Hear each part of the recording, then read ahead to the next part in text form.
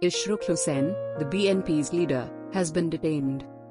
BNP leader Ishraque Hossain was detained by police in Dhaka's Motijheel while distributing pamphlets on growing commodities prices.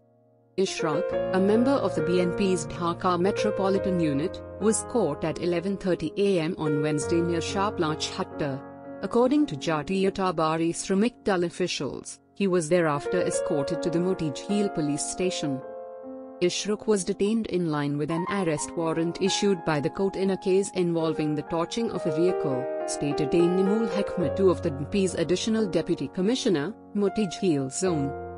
Ishraque, the son of former Dhaka Mayor Sadeque Hossain Khoka, ran for mayor of Dhaka South last year but lost to a BNP-backed candidate. He is a member of the BNP's Foreign Relations panel.